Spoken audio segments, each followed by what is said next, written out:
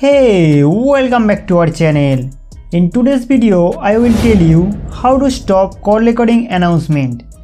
जब Google dialer में call recording start करते हैं तब सामने वालों को एक नोटिफिकेशन भेज देते हैं कि ये कॉल रिकॉर्ड किए जा रहा है This call is now being recorded.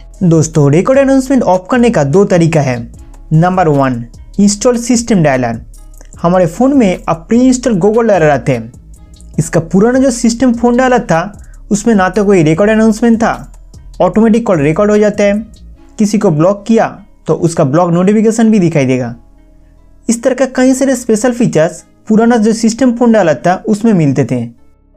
आपके लिए हम उसका एपीके फ़ाइल जुगाड़ किया है। डिस्क्रिप्शन पर उसका डाउनलोड लिंक दिया हुआ है, आप जाकर डाउनलोड कर लेना। अगर ये फ़ोन डायलर आपके फ़ोन में इंस्टॉल हो जाते हैं तो आप सभी फीचर्स इस्तेमाल कर पाएँगे।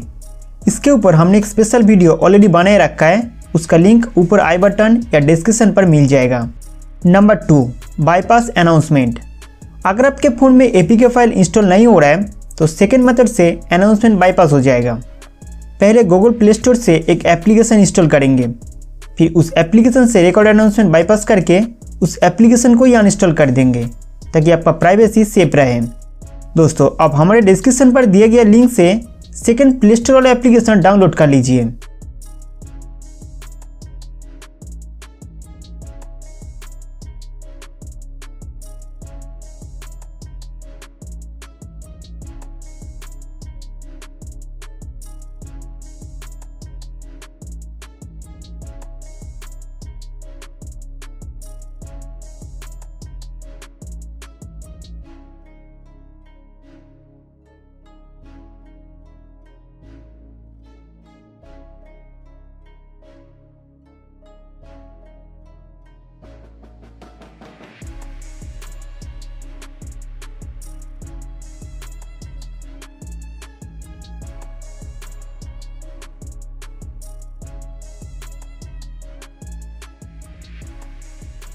एप्लीकेशन डाउनलोड करने के बाद फ़ोन सेटिंग्स में जाना होगा।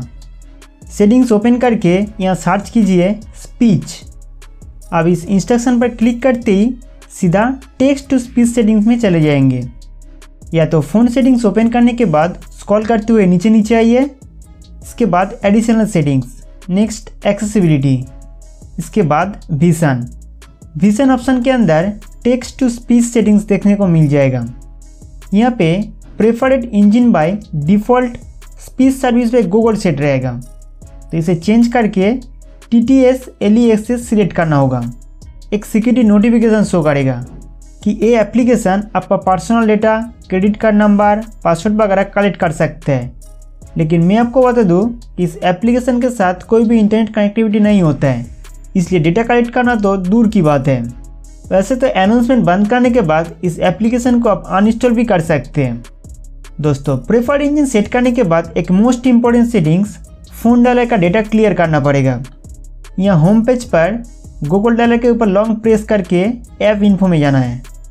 इसके बाद स्टोरेज यूसेज पे टैप करके फ़ोन डायलर का सारा डेटा क्लियर कर दीजिए। दोस्तों रिकॉर्डिंग अनाउंसमेंट का बैंड बज गया है। इसके बाद जब भी हम किसी को कॉल करेंगे तो ए केवल एक बार कॉल कनेक्ट होने से पहले नोटिफिकेशन भेजेगा। कि this call is being recorded This call is now being recorded. Call recording has now ended. फिर आप जितना बार चाहे बिना अनाउंसमेंट के कॉल रिकॉर्ड कर सकते हैं। और ये किसी को पता भी नहीं चलेगा। जब तक गूगल डायलर में इस बग फिक्स नहीं होते हैं तब तक आप मज़ा ले सकते हो। दोस्तों अनाउंसमेंट नोटिफिकेशन तो बंद हो चुका है। आप स्पीच सेटिंग्स में जाके स्पीच सर्विस गूगल सेट कीजिए। और प्ले स्टोर में जाके T T S L E access application को अनइंस्टॉल कर दीजिए। दोस्तों, जब तक आप गूगल फ़ोन डालर में सभी डेटा को दोबारा डिलीट नहीं करेंगे, तब तक अनाउंसमेंट नोटिफिकेशन बंद रहेगा।